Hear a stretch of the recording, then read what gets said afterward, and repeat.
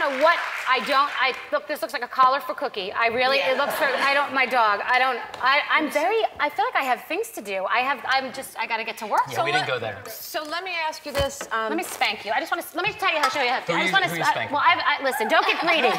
don't get greedy. I look at this, and she's got a nice boot. Just, I'm seriously. Pretend you're. Are you put the gonna blindfold. really I- give like, it to Get me, into though? character. Oh, I'm just pretend that I am. Pretend. Pretend that that guy on Dancing with the Stars, Maksim Chmerkovskiy. He's got like a really good ass. Okay, get into it. And your hold head. on, Okay. hold on, I need my necklace. Okay.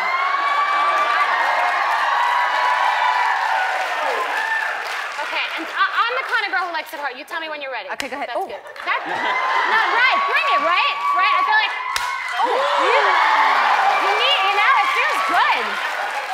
It feels good. But you didn't listen, listen to Amy. I You're God, not I hope Ellen left.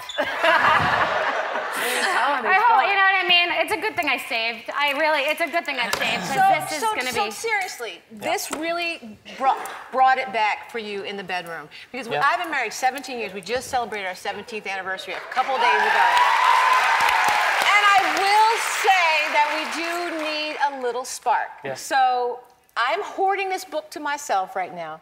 I'm pretending that it's 50 beautiful ways to make love to your wife. You're uh, preparing. You're getting ready. Right. You don't want to bring it out until you know the whole scope. But I have to say, I'm scared. I'm scared that he is going to spank me too hard. I might punch him in the face.